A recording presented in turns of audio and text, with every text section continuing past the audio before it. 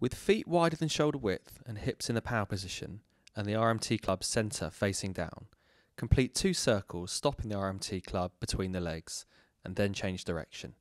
On the second round, switch your hand positions. To regress the exercise, reduce the speed, and to progress the exercise, increase the speed.